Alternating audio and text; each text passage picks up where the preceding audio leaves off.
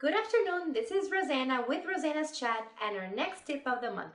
Today, I wanted to emphasize the benefits of body wrapping.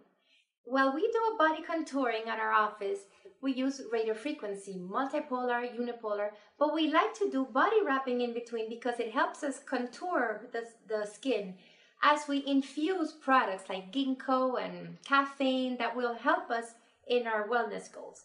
For more information, call us at Med Aesthetics at Miami. Our promise is more than beauty. Have a great day.